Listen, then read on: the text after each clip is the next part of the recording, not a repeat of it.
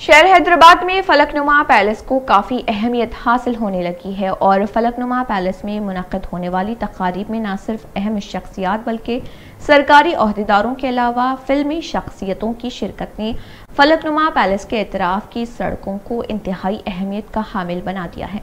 لیکن اس کے باوجود مجلس بلدیہ عظیم تر حیدرآباد کی جانب سے فلک نما پیلس تک پہنچنے والی سڑکوں کو بہتر بنانے اور انہیں صاف ستھرا رکھنے کے اقدامات سے گریز کیا جا رہا، جو کہ شہر حیدرآباد میں فلک نما پیلس پہنچنے والوں کے تاثرات کو پرانے شہر کے متعلق تاثرات کو تبدیل نہیں کر پا رہا۔